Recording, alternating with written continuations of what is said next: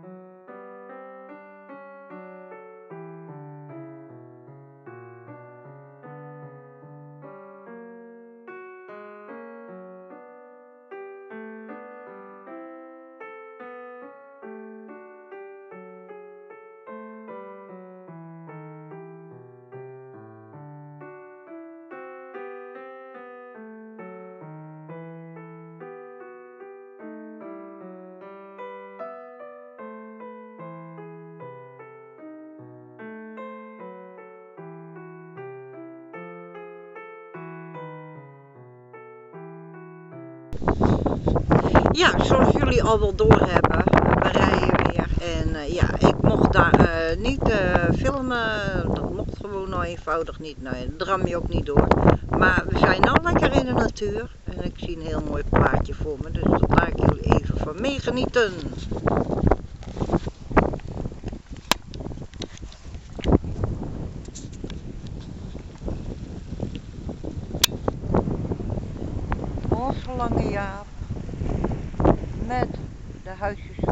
Ervoor.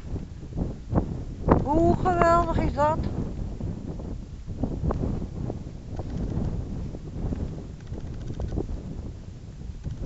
Is mooi hè?